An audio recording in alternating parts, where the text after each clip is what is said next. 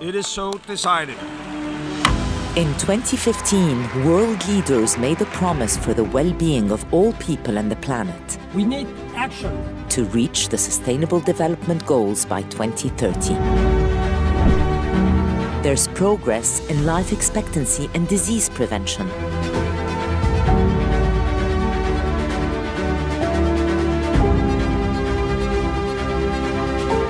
There's greater gender parity in management positions.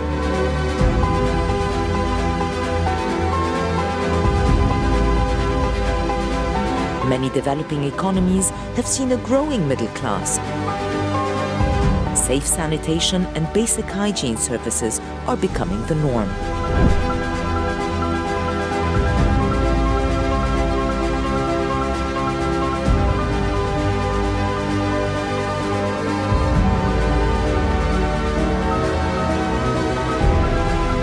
More than 95% of the global population have access to mobile broadband networks. The future of energy is cleaner.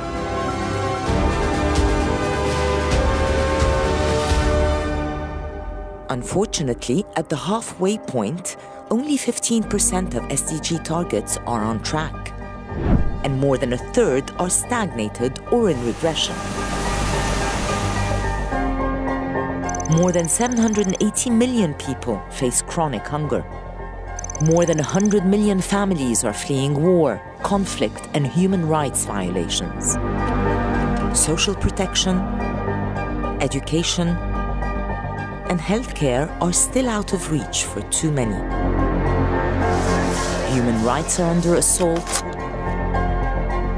With the planet warming at 1.1 degrees Celsius, extreme weather is wreaking devastation around the world.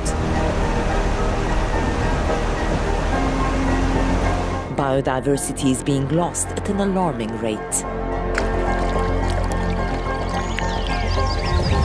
These global threats must be overcome with smarter solutions, renewed ambition and determination, and recognition of what has not succeeded in the past.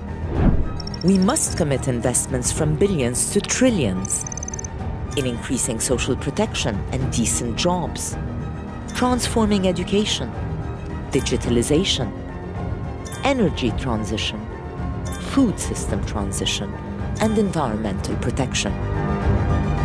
To get there, we need global solidarity. For the planet, for people, for generations to come. No excuses, no delays. Promises made must be promises kept.